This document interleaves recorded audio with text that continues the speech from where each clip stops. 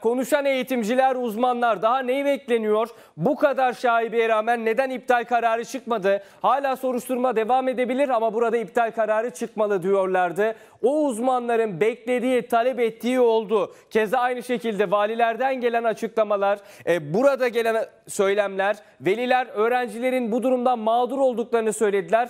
Velilerin talebi de karşılık bulmuş görünüyor. Tabi burada hak gaspı olmasın, bir an önce soruşturma nitelikli olarak sürdürülsün deniyordu. Bunun karşılığında bunun karşılığında KPSS şimdi soruşturmasında iptal olarak devam edilecek. 6-7 Ağustos ve 14 Ağustos'taki oturumlar ertelendi. 17 Eylül itibariyle yeni KPSS takviminin başlayacağı duyuruldu. Sınav resmen iptal edildi. Böylelikle Eğitim Sen eski başkanı Alaaddin Dinçer telefon attığımızda. Sayın Dinçer merhabalar, hoş geldiniz. Sayın Dinçer beni duyabiliyor musunuz? Evet. Nasıl Duyabiliyorum. değerlendiriyorsunuz? Ee, iptal kararı çıktı. Biraz gecikmeli olduğuna dair eleştiriler de vardı. Dün de neden iptal edilmediği sorgulanıyordu. Artık yeni sınav takvimi 17 Eylül'de başlayacak. Nasıl değerlendiriyorsunuz bu kararı? Ee, iptal edilmesi doğru ve yerinde bir karar. Tabii bu yeni bir e, mağduriyet ortaya çıkarmış gibi görünüyor. E, çünkü insanlar bu tarihe e, odaklanmış ve yoğunlaşmıştı. Özellikle sınava hazırlananlar e, açısından e, psikolojik olarak pek çok olumsuz etkileri olacaktır. Tabii 17 Eylül'den sonra açıklanacak takvimin. 17 Eylül'den sonra açıklanacak takvimin e, muhtemelen 2023'ün başlarına kadar sarkması e, büyük olasılık e, bu e, süreçte. Ama iptal edilmiş olması doğru yerinde bir karar olmakla birlikte özellikle e, bu işin hukuki boyutta sorumlularının mutlaka bulunup açığa çıkarılarak e, yargı önüne getirilmesi gerekiyor. Hani sadece sınavı iptal etmekle veya idari soruşturma açmakla süreci tamamlamamak gerekiyor, kapatmamak gerekiyor. O nedenle e, hukuksal olarak e, bu sürecin e, savcılıklar ve mahkemeler e, boyutunda e, sorumluların açığa çıkarılarak cezalandırılmasına varanak e, varacak bir sürecin işletilmesi gerekiyor. Sayın Dinçer, etkin bir soruşturmanın nihai sonucu ne olmalı? Buradaki sorumluların elbette faş edilmesi ve almaları gereken cezaların alması en makul yanıt olsa gerek ancak e, geçmişte Eğitim Sen Genel Başkanlığı yürütmüş bir isim olarak soruyorum size. KPSS'de şaibe, soru çalma bu gibi tespitler soruşturma sonunda ortaya çıkarsa etkin nihai soruşturma kimlere, hangi kurumlara, ne gibi mevkilere ve makamlara uzanabilir? Daha doğrusu uzanmalı, en azından muhatap kılınıp sorgu edilmeli. Aa, tabii ki hani hep derler ya gittiği yere kadar gidilmeli. Hani en son noktası neresiyse oraya kadar bu soruşturma sürdürülüp e, bu sorunlar yargı önüne çıkarılmalı. Yani bunun içerisinde kurumlar olabilir, kişiler olabilir. E, bütün bunlar bir biçimde e, hukuksal olarak e, açığa çıkarılarak e, devam ettirilmeli. Bakın burada başka bir şeye dikkat çekmek istiyorum. Buyurun. Ee, özellikle e, maalesef bu KPSS hazırlık kursları yürüten dershanelerle e, bu e, e, bir takım üniversitelerin e, işte eğitim fakülteleri, e, fen edebiyat fakülteleri iç içe çalışıyorlar. Bu çok dikkat değer e, önemli bir nokta. E, orada dersler veriyorlar hocalar. Evet. Bu KPSS'ye hazırlık kurslarında ve e, bu bu e, son sınıf düzeyinde de özellikle öğrencilerini bu tür dershanelere yönlendiriliyorlar. Hem bu etik değil hem doğru değil, yanlış bir uygulama. Bunun da önüne geçilmesi gerekiyor. Tabi burada hocaların ekonomik olarak içinde bulundukları bir takım sorunları çözmek adına ücret karşılığı bunu yapmış olmalarını belki anlamak mümkün ama etik olmayandığını özellikle altını çizmek istiyorum ve bu yaygın bir biçimde kullanılıyor, Peki. sürdürülüyor.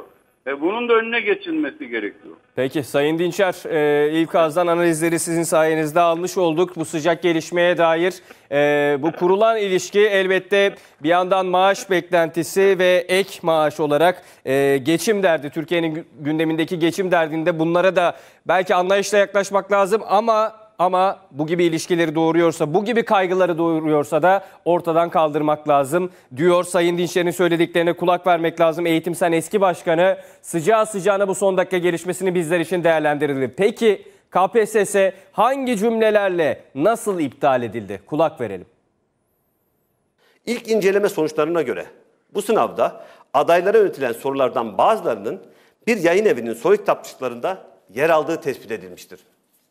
Her şeyden önce böyle bir tablonun hem kurumumuzun çalışma ilkeleri, hem hukuk hem de kamuoyu vicdanı bakımından kabulü asla mümkün değildir. Cumhurbaşkanlığı Devlet Denetleme Kurulu Başkanlığı'nın suç duyurusu üzerine Ankara Cumhuriyet Başsavcılığı da hemen konuyla ilgili bir soruşturma açmıştır. YÖK Denetleme Kurulu da ön inceleme için harekete geçmiştir. Değerli basın mensupları, yapılan kapsamlı değerlendirmelerin ardından hem 31 Temmuz 2022 tarihinde yapılan KPSS oturumları iptal edilmiş hem de 6-7 Ağustos ve 14 Ağustos- Ağustos 2022 tarihinde yapılması planlanan oturumlar ertelenmiştir.